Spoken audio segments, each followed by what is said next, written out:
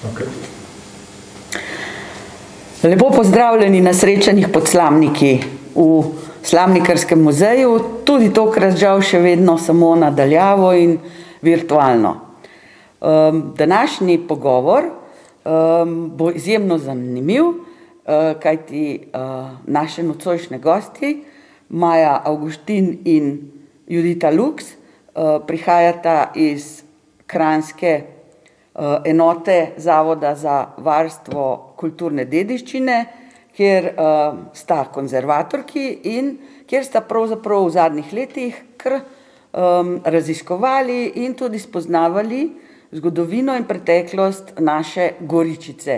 Goričice kot uh, hribčka, ki ga vsi domžalčani zelo dobro poznamo, Goričice tudi kot kraja, kjer stoji zdaj uh, cerkev in je stala tudi že v preteklosti in se mi smo danes pogovarjali in tako smo tudi naslovili pogovor o Goričici in o cerkvi Marijinega nebozetja in um, njenih prezidavah skozi zgodovino. Ampak zdaj, če gremo nekam zelo, zelo, zelo daleč nazaj, potem uh, bi morda o tisti prvi preteklosti našega kraja lahko rekli, da nekako so ljudje prebivali bolj po gričkih, ravnina je bila ravna, večinoma pravijo, da tudi precej zaraščena. Um, in tu so bili hribčki, ki danes jim rečemo v Trzinu Ongr, Homški hrib, Dobeno, Mali grad, recimo proti Kamniku, Domžalah Šumbrk in Goričic. Ampak zdaj lahko rečemo, da ker sem omenila Šumbrk, je to kraj, kjer bi lahko rekli, da smo našli nekaj najstarejšega uh, na našem področju. Ja, ja, in to v bistvu pred kratkim z, izko, z raziskavami arheološkimi, zato ker prve stvari so bile najdene na ključno v kamnolomih, najdbe so prišle v Narodni muzej, so sicer opredeljene časovno, vendar nikoli niso bile raziskave, da bi kontekst domel. Moj uh, kolega, ki je zdaj v pokoju, Milan Sagadin, je tudi bil na terenu, je pregledal lokacijo, tako da je potrdil, da gre za neko poselitev prazgodovinsko. Uh, vendar so šele dve leti nazaj, 2019, uh, ko se je delalo razgledišče, uh -huh. smo predpisali izvedbo sond arheoloških, torej smo tesno izkopali lukno, da vidimo, kaj je noter, in je prišla na dan keramika, tako da je to v kar pri veliki količini, glede na tisti mehen obseg, ki se je raziskal, tako da se je ta datacija v bronasto dobo konkretno, torej tam nekje starost 3000, nekaj več kot 3000 leta, ne, potrdila s to keramiko, z odkritjem te keramike. In s tem, da je bilo tu naseljeno. In da je to znak uh -huh, poselitve, uh -huh. verjetno skoraj celotnega hriba. Uh -huh. Tako da mi smo bili ta sonda, to razgledišče na eni skrajni točki, na rtičku, ne, poselitev se je pa verjetno premikala, bila po celem uh, površini tega hriba. Uh -huh. Zdaj nismo omenili Goričice, vendar se mi je zdelo to zelo pomembno, Kam so pa šle te izkopanine, recimo, Aha, kje so? Ja, te najdbe, te ta zgodne naključne so, so danes hranjene v Narodnem muzeju, te uh, bojo pa hranjene v Kamniškem muzeju. Uh -huh. Zato, ker je to pač, muzeji imajo razdeljena območja, odkud dobijo najdbe in dobžale sodijo pod Kamniški muzej. Ja, ja, strokovno, strokovno, strokovno je. Je pa prav, ne, ker se moramo v domžalah zavedati, da pravzaprav glede tega, da je strokovno za nas, naše področje zadolžen uh, Kamniški muzej, imamo tam kar marsikaj um, iz svoje preteklosti in tudi marsikaj, kar bi lahko še pokazali Tako. ljudem iz našega kraja. Ampak zdaj, če se nekoliko premaknemo pa na Goričico, o kateri uh, ja. bomo danes več govorili, potem ima pa tudi ta Goričica eno svojo zgodovino, In kam nekje bi jo lahko umestili, kaj je zdaj tisto, kar bi bilo relevantno, kdaj se pojavlja in kako. Ja, ta goričica ne, je zanimiva. Ne, nekak, kas, če pogledamo zemljevid, je ravno v neki ravni črti med Ongarjem in med Šumbrkom. Človek bi domneval, da bi tam lahko kaj bilo, vendar, glede na to, da je crkva že dolgo časa tam, da se je širila, da je bil tam tudi proti turški tabor predvidevamo, da nič več ni ohranjeno, tudi če je kaj bilo. Tako da ostanejo lahko samo domneve, neka želja ali pa upanje, mm. da je mhm. tudi v tako zgodnejšem obdobju, kot je bil Šumber poseljen, da je bilo tudi kaj, da se je dogajalo na Goričici, vendar arheološko ni dokazano.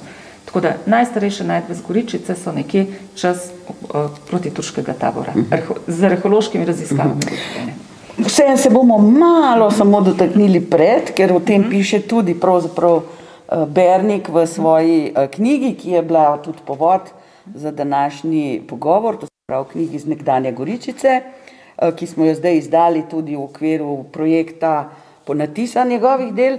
Pravzaprav on tam pa moramo vendarle reči, da se je najbrž že dogajalo nekaj zelo pestrega, pa v rimskih časih, ko so bile tu, pravzaprav med Ljubljano, um, med Mengšem, proti Lukovici, zelo, zelo veliko je bilo teh rimskih poti in bile so reke in bili so prehodi čez te reke in najbrž se je to tudi takrat pa dogajalo in tako predvideva. Um, rekla tudi Bernik v svoji knjigi in zato tudi poišče nekaj zgodovinskih virov. To je, um, to je res ne, zelo Rimljani ne, so, so za spremembo od prazgodine so se že premaknili v nižine, ker je bil bolj miren čas in so tudi v nižinah lahko bivali, možno je bilo samo z nekimi obzidi, a ne uh, tudi varovati uh -huh. naselbine ali kaj podobnega. Tako da poti so bile pa močne, seveda v rimskih časih je bila trgovina močno uh, razvita, tako da tukaj v bližini neke goričice Uh, imamo omembo, ker oni so imeli že načrte poštnih postaj. Poštne postaje so morale biti na vsake tok časa, zato da si lahko menjavo konje. In to so obstajajo načrti. In tukaj nekje naj bi bila poštna postaja Kvator Decim. Uh, in sicer domnevamo, na Goričici ni bila, ker je to na hribčku, morala je biti v ravnini, domnevamo, glede na toponim groblje, kjer je tudi crkva svetega Mohorja in Fortunata da je tam nekje to bilo.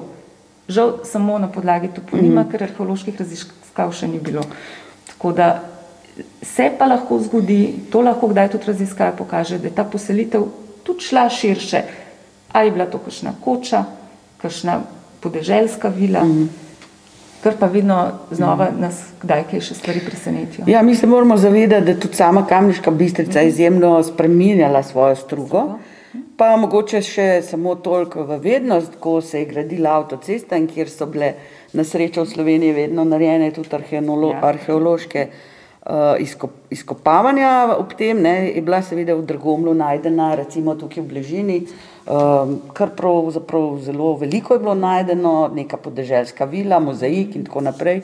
Tako da tudi te stvari takrat uh, so bile tudi objavljene. Skratka, tukaj morali biti v tistih rimskih časih pa vseeno kar pestro. Jaz bi gledala en tako en komentar, ne, uh, moram reči, da ko, se začel, ko se je začel zelo ta velik projekt uh, izgradnje avtocest v Sloveniji, mm -hmm. ne, torej že v 80-ih, ko so se začela načrtovanja, moram reči, da je bila arheološka stroka zelo samozavestna in je menila, da to, kar poznamo, da to je pa nekako to, da mogoče 10% je neznanega. No, potem so pa te raziskave, ki so se zelo sistematično, so se lotili raziskav na področju avtocest, pokazale, da je še veliko neznanega. Ne? Tako da, in takrat je velik niz novih najdišč prišel na dan, tako da tudi tukaj v okolici, ne omenjam, na, na zadnje šant Pavela, ne? Mislim, mhm. res jih je veliko teh nižinskih prekmurje, ki je bil nekako arheološko prazen, bi človek rekel, uh mhm. -huh. se je izkazal kot izrazito polhan.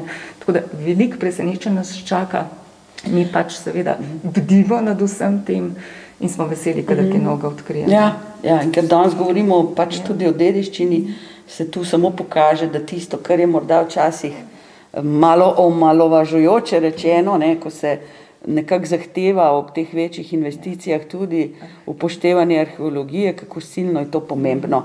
In to ni zgolj strošek, ampak je pravzaprav eno izjemno um, pomembno dejanje pri spoznavanju naše zgodovine, kjer smo marsikdaj lahko tudi zatavali v kakšno, um, rekla, nepoznavanje meglo in temo. Ampak zdaj, ok, gremo in se vrnemo na našo goričico in pravzaprav proti turški tabor, omenjen, uh, večkrat uh, in rekla je ena zelo impozantna in tudi vsebinsko bogata stavba. Kaj je bilo zdaj s temi tabori v Sloveniji? Ja. Moram reči, da 15-16 stoletje je bilo izrem, izjemno turbulentno obdobje. Lahko si sam predstavljamo, kako so se ljudje takrat počutili v vseh teh upadih Turkov, ker nisi vedel, kdaj te čakate, kaj pričakuješ. Uh, tako da, in to je bil nek način te tabori, ne, da se je kmečko prebivalstvo uh, lahko zavarovalo oziroma da se je, da je prebegnilo nekam, da se je skrilo v času upadov.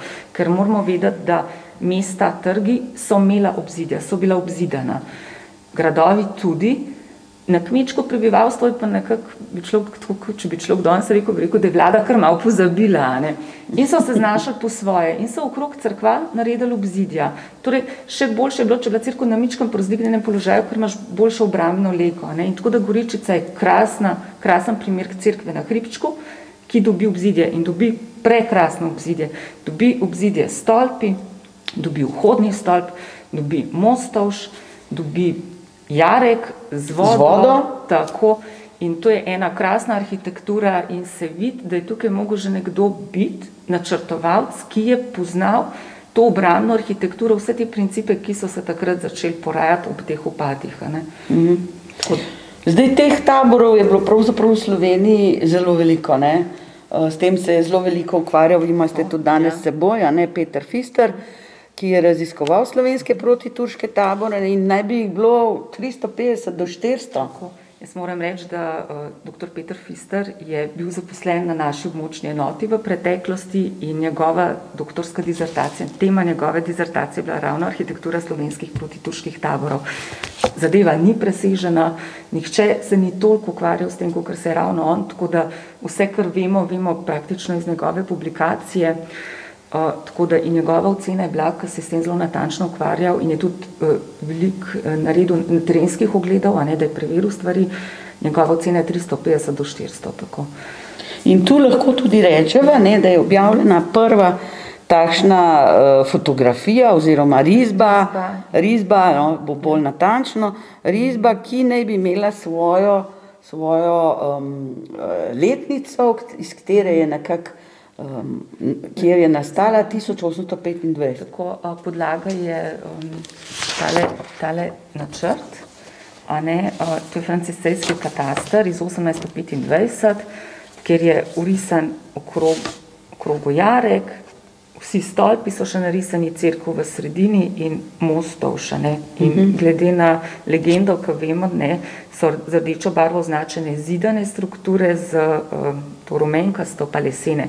Očitno gre za mostov. Nekaj lesenega, da. Tako. Ja, ja, ja. In takrat in na podlagi tele, uh, tega načrta je dr. Peter Pister naredil neko idejno rekonstrukcijo, uh, kako bi to lahko izgledalo v tistem obdobju. Valvazor ne, je še videl, ne, moramo biti hvaležni ne, Valvazorju, da je to se poglobil v te naše gradove in mesta in je takrat navedel, da gre za enega najlepših uh, protiturških taborov uh -huh. na slovenskem, oziroma takrat na kraju. In omenil točno gor, Goričico in ja. lepoto in tega tabora, ne, ja. ki je je bil. Zdaj to vemo, da je še okrog 1825 stalo, um, potem pa seveda lahko ugotovimo, da takrat okrog leta 1860, 67, 70 se pa že začnejo prve, prvi posegi na ta prostor, pravzaprav posegi, ki so bili pogojeni z višjimi interesi, ne, z nekimi željami, da se uredi drugače in seveda vedno je bil žrtev, če tako rečemo, ali obrambni zid, ali stolpi, ali rušitve pač tega pozostora in seveda je bila potem narejena ena, ena velika, velika, velika škoda. Ja. Uh, ja, seveda šir se na račun, um, zdaj to je v reambulančnem katastru, ki je bil narejen leta 1867, uh -huh. se že vidi, da nastanejo novi objekti okrog cerkve, ki so, ki so jih pač prebivalci potrebovali ne, za rabo in seveda stvari, ki jih ne potrebuješ več, padajo. Uh, verjetno tudi niso bili več zelo dobro ohranjeni, ker niso imeli neke funkcije. Torej, ko objekti ostanejo brez funkcije, začnejo propadati, ker jih noben več ne vzdržuje. Obrambna funkcija je minila, da bi jih pa ja. samo zato imeli, ker bi cenili ja. um, dediščino, pa žal ja. takrat te miselnosti, vsaj v tem primeru, prav gotovo ni bilo. Potem so se te stvari kar nadaljevale. Ja. Ker se je zelo intenzivno. Zelo, zato, ker se število prebivalstva vse veča, imajo popravne ravno industrializacija, ne, v tem žalah prenese Ja, ne, iz našega zornega kota so domžale zelo mlade. Ja. E, tako mlado, mlad kraj, ne, ki je pač po 20. stoletju dobesedno eksplodiral v svoji gradbeni produkciji ne, in industrializaciji in obrtništvu. In se je bilo tudi čas, da se razširi ja. crkva, se Ja, zgradi ja. župnišče, se začne v Domžalah tudi pod Bernikovim, bi lahko rekli, vodstvom. Um, Boj za samostojnost uh, Fare, ne, kjer so bili pa spet določeni pogoji, med drugim pokopališče, Ja. ki je spet terjalo obzidje. Ne. Svoj prostor. Ne? Ja. Uh, ja, veste kaj, tudi a ne, Mengeška fara, a ne, v bistvu prafara, uh, je pokrivala nekdaj kar precejšen del uh, Kranske. a ne, In domžale so si strašno prizadevale, tudi že od začetka 19. stoletja naprej, da bi postale župnija ne, in samostojna uh -huh. fara. Kar je seveda razumljivo, saj se v tem obdobju začnejo razvijati v tej podobi, kot jo poznamo danes. a ne. Uh, tako da to jim je potem uspelo 1908. leta. Sprav stoletni boj je terjal uh, za, za ta dosežek in seveda uh, župnik, Bernik je uh, videl priložnost v tem, da se pač crkva mora povečati, da bo pač ta njena velikost sprejela večje število ljudi, da bo s to velikostjo poudaril, kako zelo po, potrebujejo domžale župnijo, ne, ne da so samo podružnična crkva. Skratka, vse to je botrovalo tem rušitvenim posegom. Uh, žal pa niso šli na drugo lokacijo uh, in ohranili potem in tabor in zgradili neko novo crkvo. ne, Ker v bistvu se še danes kaže ta manjko prostora. Ne. Ta manjko prostora na ja. Gričku, ne, Ja. ta manjko prostora je bil takrat in je tudi danes še. Ne. In uh, zanimivo je to, da ne, te uh, zahteve ali pa želje uh, ljudi, ki uporabljajo nek prostor, se ne spreminjajo. Ne? Uh, mi mislimo, da bi ravnali drugače, pa mogoče ne bi. Ne? Uh, ker so te potrebe vse čas iste, ker te potrebe narekuje prostor. a Ne? Zdaj lahko omenimo še eh, te akvarele eh, Ladislava Beneša, v katero obdobje pa to sodi. To je pa konec 19. stoletja, on je zelo veliko hodil okrog uh, in je slikal, tako da uh, njegovi, njegova dve risbi, ne, mislim, da nista ravno akvarela, sta objavljeni v, če ne motim, če lahko to pogledam, v publikaciji. Um, zdaj najdem. Evo, Im Gebiete der Steinerbahn in upodobitve slik na tem, de, na tem uh -huh. območju so Benešove. Uh, med drugim je tudi dve, dve sliki. sta- 1891, Tako je ne? objavljena publikacija, tako da do konca 19. stoletja mi tudi za celo Gorensko, recimo zelo veliko, kadar nas zanima historijat nekega objekta, uporabljamo Benešove akvarele. No, v tem primeru so grafike in sta tudi dve objavljeni v tej publikaciji. Torej, to je 1891 je objavljena publikacija, mi pa vemo, da 1891 pa 92 se So bile spet nove rešitve. Tako je. Tako in mi imamo tam še upodobljena dva stolpa, dva preostala stolpa, dva stolpa sta pa že padla med, med prikazom francisejskega parambulančnega katastra, torej že nekje v sredini. Prav, dva v 19. sredini, a ne okrog 1860. 37.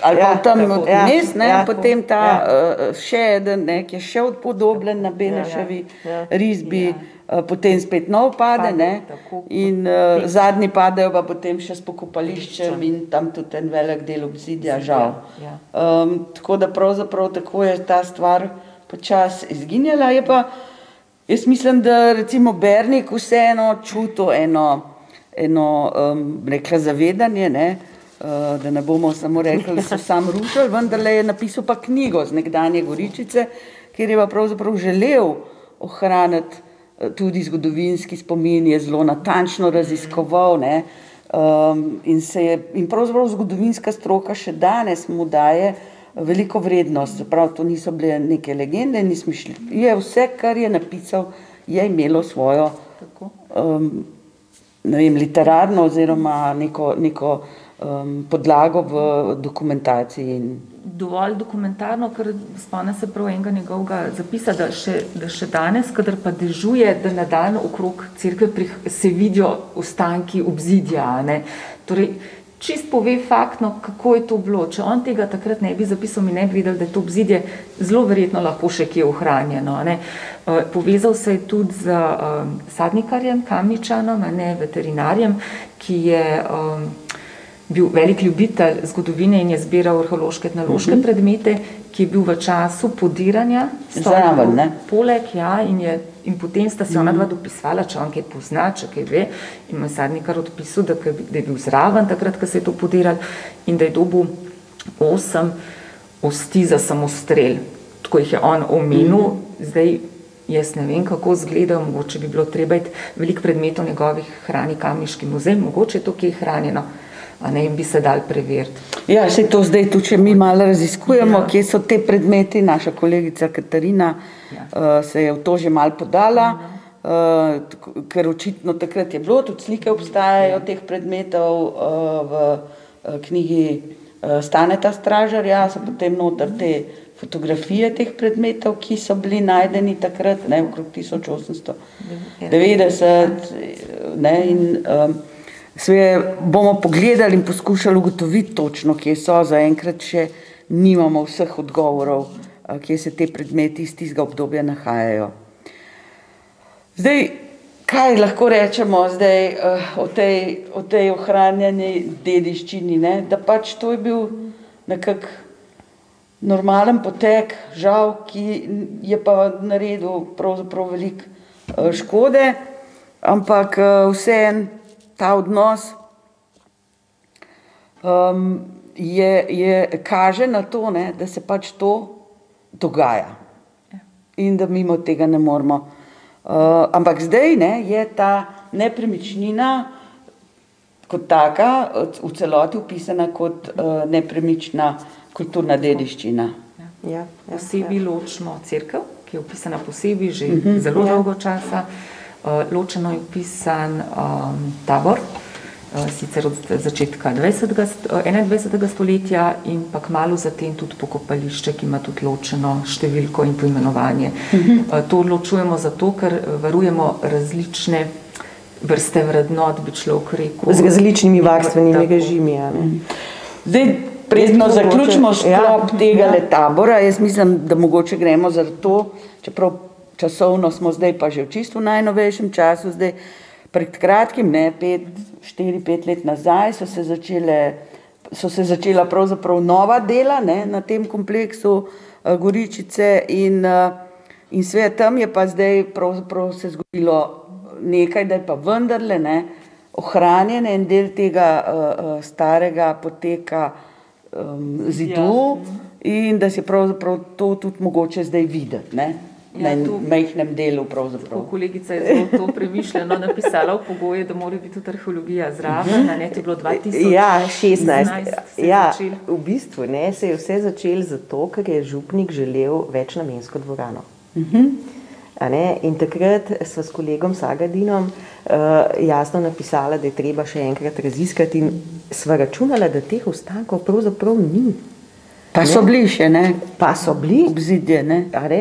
Zelo, zelo prisotni. Tako da v bistvu smo tisti eh, pogoj, da je treba neke arheološke raziskave narediti, pač napisala bolj tako, da človek rekel za vsak slučaj. Ja. Ne pa, da bomo uh, zdaj razkrili in odkrili eh, to, kar smo. Ste pa to odkrili, ne? Ja, in pravzaprav, uh, ne vem, kako ja. je bilo sodelovalo, ne? Ja, sem malo. Um, ampak pravzaprav tokrat pa lahko rečemo, in tako sem videla, da ste tudi v svojem prispevku za četrto knjigo napisali, je bilo pa to izjemno odgovorno dejanje in se je eh, župnik Klemen Svetel pravzaprav izkazal ne? in ste, šli, ste z njim zelo dobro sodelovali in to tudi, rekla, prezentirali zdaj na en način javnosti. Tako, kot je rekla kolegica, bilo je presenečenje, prišli so na dan obzidje, eh, dva stolpa, eh, v temeljih ohranjena nekaj tudi drobnih predmetov, mhm. vsaj iz tega časa eh, uporabe obzidja oziroma tudi nekoliko mlajš. In presen, naše presenečenje ponovadi, moram reči, da smo vedno če se le da, poskušamo kaj ohraniti, mi rečemo in situ tehnično. Ne? Torej, na mestu samem poskušamo mhm, ohraniti stvari, mhm. če se le da, in tudi predstaviti ljudem. Klej je bilo pa v bistvu bolj kot ne uh, velika želja župnika, da se to dejansko tudi naredi. Tako da zidovi so danes ohranjeni pod tlakom, bili so zavarovani z geotekstilom, tako da tlak je šel čez, tako da jih ni bilo potrebno rušiti, tako da smo jih ohranili za naše zanamce in obenem predstavili tloris poteka obzidja in obeh stolpov v tlaku. Tako da to je ena taka lepa dodana vrednost uh -huh. vsej tej ureditvi. Ki si jo lahko zdaj na nek način celo in upam, da tudi ugledamo domžalčani, ko ja, pravzaprav ta izjemno bogat prostor, ne, ta goričica je res bogat prostor, jaz mislim, da je to nekaj, kar nas domžalčane še čaka. Um, rekla, danes govorimo o tem taboru, govorili bomo še o cerkvi, tam je pravzaprav večino življenja preživel ta velik mož, ki mu pravzaprav mi s knjigami zdaj nekako vračamo, ga vračamo v življenje. Mogoče marsikomu ni znano tudi, da je na, na Goričici služboval uh, stric Franceta Preširna in je France Preširen tukaj tudi uh, preživel več poleti. Uh, mogoče je ena prvih ljubezni se jih zgodila na tem prostoru. O tem bo tudi treba še kaj reči v prihodnosti. Zdaj je gor muzeik, recimo Rupnikov. Tabor je še stal. Tako, tako da stal. Pravzaprav um, sem prepričana, da domžale ne, imajo tu eno, en velik zaklad, ki bi ga lahko bistveno bolj uh, spromovirali, izkoristili kot rekla, eno celoto, ki hrani zelo veliko in mislim, da nas tle čaka ena naloga. Zdaj mogoče samo še kamen, ki je bil najden in nosi letnico 1532. Ali 52. Ali, ja. Ja. Aha, to se težko vidi, ne? Ja, ja, Malo čačka, ja. ja, ja, ja. Ja, dobili so ga že takrat ob širitvi cerkve, a ne? Tako da Peter Fister je že poznal Mhm. datum. Takole, ja, ne. To je kamen, ki ga bodo se tudi poslušalci lahko Ja, ja, videli kot podlago. Ne? In Lahko si ga grejo pa tudi v, v, pogledati. ta ne. kamen je zdaj ugrajen. Ne? Ta tudi. kamen je zdaj ugrajen ne, na, zahodno, na zunanščini, je, uh -huh. na zahodno steno severne kapele, uh -huh. stranske. Na zahodno steno severne Ja. kapele. Tako da vemo, kje se to malo je. zapleteno, ampak pač ta prva kapela, ko se pride k cerkvi, če gledamo proti zvoniku na zunani strani. Uh -huh. ja. In eh, ima, to, ima ta kamen kakšno sporočilo? še? Absolutno, ne, ja. absolutno. Dejstvo je, ne, da pač prvič eh, je crkva umenjena v tem popisu crkvenih dragocenosti, eh, ki se je pač delal za potrebe tako imenovanega turškega davka. Ne. Takrat so zbirali te dragocenosti, zato da so jih pretopili, pridobili neka sredstva in naredili, pač orožje in tako naprej, da so se pač branili. Skratka, Cerkev je omenjena 1526. prvič. Tukaj imamo letnico 1532 ali 52, kar pomeni, da pač ta letnica označuje nek dogodek, ko je cerkev že stala. A ne, zdaj a je ta dogodek povezan z protiturškim taborom ali je ta dogodek povezan eh, s cerkvijo, ne moramo zagotovo trditi, niti kaj je obeleženo s to letnico, ne. Tako da to so samo lahko zgolj domneve. No, ampak crkva je tam stala. Cerkev je pa že stala, In ja. stala je potem vse skozi. Cerkev je vse čas stala, in treba je pa zdaj, žal, imamo najstarejšo podobo, ki jo imamo o cerkvi, imamo na franciscejskem katastru iz leta 1825. Uh, tam si uh, lahko pogledamo ne samo neko tlorisno um, zasnovo obzidja proti turškega tabora, ampak tudi cerkve. Uh, cerkev tukaj se kaže kot uh, neka triladijska zasnovana cerkev z nekim uh, triosminsko zaključenim prezbiterijem. Gre za klasično tako gotsko cerkvico, majhno, recimo, da je dosegala polovico ali pa dobro polovico današnje cerkve. Uh -huh. Zelo je bila stisnjena v to obzidje, se pravi, da je cerkev verjetno starejša. Ne. Uh, zdaj, koliko starejša, kdaj je pravzaprav nastala, pa iz te uh, tlorisne, ne da ugotoviti, eh, ne da ugotoviti, ne, žal ne. Uh, je pa potem zelo zanimivo, je to, ne, da je pač ta prva rušitev proti turškega tabora prišla ravno v nastanku med uh, franciscejskim in reambulančnim katastrom, tako da res lahko spremljamo, ka- kaj se je dogajalo, tudi na sami cerkvi. ne. Treba je povedati, da cerkev je orientirana, se pravi, da je s presbiterijem obrnjena proti vzhodu in zvon, zvonik je že integriran v samo stavbno maso, ne, tako kot tudi danes, ne, in to je pravzaprav vse, kar mi lahko tukaj izvemo o cerkvi. Eh, na rembolančnem katastru iz 1867 že vidimo objekt župnišča, ki je pravzaprav nastal iz s kamni, z bloki iz tega uh, protiturškega obzidja. obzidja uh, tako da šlo je pač za porabo sredstev, bi danes rekel. Uh, ja, večji posegi so pa potem nastali pravzaprav proti koncu 19. stoletja, zelo intenzivni ne, in um, Zdaj, uh, Frances Tele, naš nestor konzervatorske službe, ne, je pač v tej cerkvi rekel, da pač je brez nekih arhitekturnih vrednosti uh, in iz tega njegovega zornega kota, ki je pač živel v tem obdobju in to pač spremljal, ne, je to seveda spet uh, mogoče povsem dobro razumeti. Uh, z današnje perspektive uh, pa ta crkva ni povsem brez vrednosti. Eh, je sicer res bila zgrajena v maniri tega neohistoricizma druge polovice 19. stoletja, vendar eh, je oprema in pa poslikave, stenske poslikave, ki so v tej crkvi, so pa za nas danes izjemnega pomena. Mhm. Zdaj, mogoče, ker um, so pravzaprav ti naš, naš sklop pogovorov več ali manj posvečen uh, tudi in vedno nekje prisotnosti uh, župnika Franc, Franca Bernika. Zdaj ta največja, ne, in rekla, zadnja prezidava je potekala nekako pod njegovim okriljem v letu 1938 ne, uh -huh. in pravzaprav so bili ja. udeleženi v tej prezidavi, ja. kljub temu, da so nekdo uh, ste rekli, ja. da je ste le ocenil, da vse skupaj pravzaprav uh, nima Ni vrednosti, vredno, ampak ja. to, s to prezidavo je vendarle v tem objektu sodelovalo veliko pravzaprav relativno uh, pomembnih Bo, umetnikov, arhitektov, uh, in tudi plečnik z neko malo zgodbo. Ja, ne, ja, ja, absolutno. Uh, a veste, kako, tako le bi jaz rekla, ne? ko je crkva nastala in bila posvečena, se pravi, začeli so graditi uh, 1894, 98, 92 oziroma 28 so jo potem posvetili. Takrat je crkva se naslanjala, oziroma arhitektura se je sama naslanjala na iztekajoč historičen slog druge polovice 19. stoletja. In v sami arhitekturi ni bila nič posebnega. Uh, posebna je postala s spoznanjem, da je, tej, da je ta crkva pač nova v narekovaju. Da je nova in da jo je treba posodobiti. In povabili so najboljše sodobne umetnike.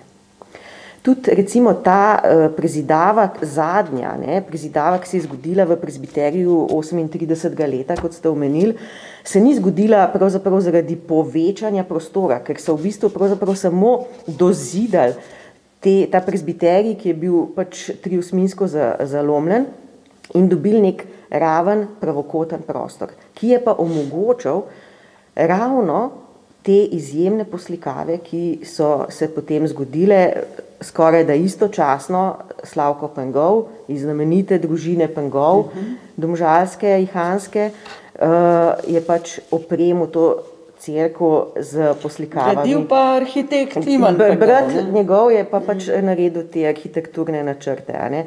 Skratka, domža, kvaliteta te crkve je v tem, da so domžalčani spoznali, da nazaj ne morajo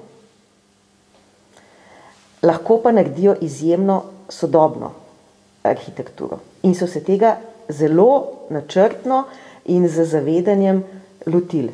In so povabili največje mhm. umetnike tega časa v to crkvo, ki so bili lahko tudi, se pravi, krajani. Ja, kar neki ljudi je bilo ja. povezanih, zdaj ja. Pengove, ja. Pengova, Slavkota, ja. s poslikavami smo že omenili, Ivana Pengova kot uh, arhitekta, potem Mogoče lahko še omenila stavbenika, ne, ki je pa gradil Ivana Sršena, ne, ja, tudi ja, eh, pravzaprav ja. uh, pomemben gospod z tega našega področja, pa mislim, da je on tudi povezan s tisto maketo, ki je bila potem narejena. Tega konstrukcijo je naredil že zelo zgodaj in jo je Franz Bernik tudi objavil v svoji knjigici zgodovine. Ja, to je maketa, ki jo je naredil tudi on. Ne. Ja, um, ja, v bistvu, a ne to, to, se zdi, to se mi zdelo tako izjemno odkritje, ne?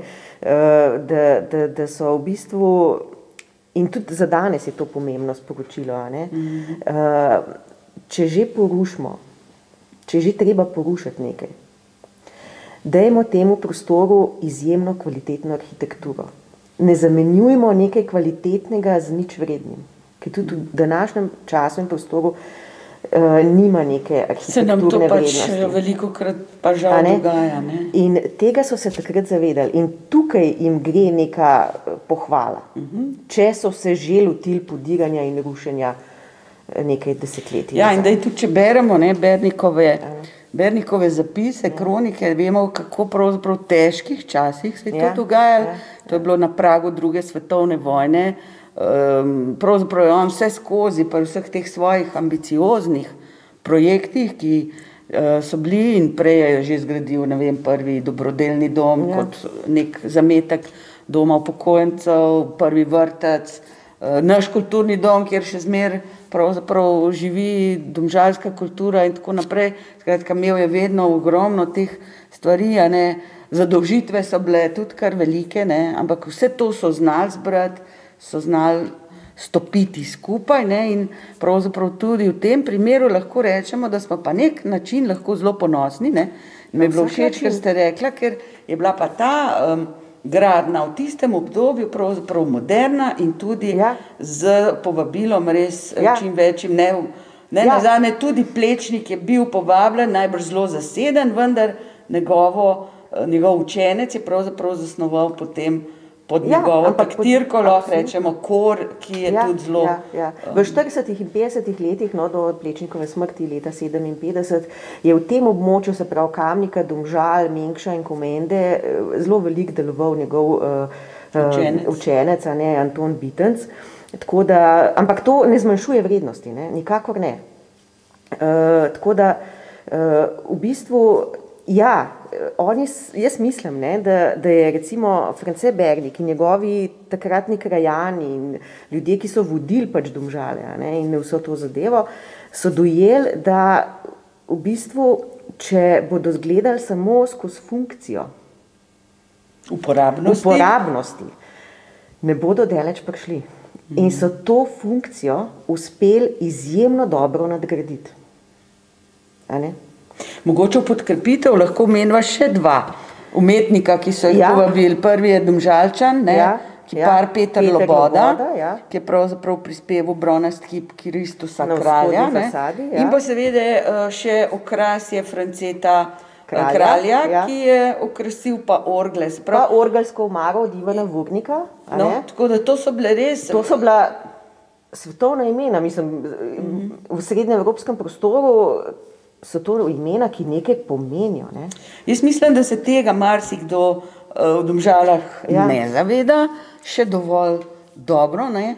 ali pa da je to vedenje pravzaprav nekaj, na kar bi bili v tem večnem pomankanju, da nimamo svoje zgodovine, da nismo neko staro uh, mesto, pravzaprav izjemno pomembno. Ne? Ja, veste kako, eh, zdaj s koncem 20. stoletja ne, eh, se pravzaprav začenjajo raziskave tega stoletja. Ne, Eh, in tudi ljudje, ki se s tem profesionalno ne ukvarjajo, je le toliko časa že preteklo, ne, da tudi ljudje, sleherniki, ki nimajo pač pravzaprav z raziskavo arhitekture nič profesionalno skupnega, ne, ugotavljajo in začenjajo ceniti to arhitekturo.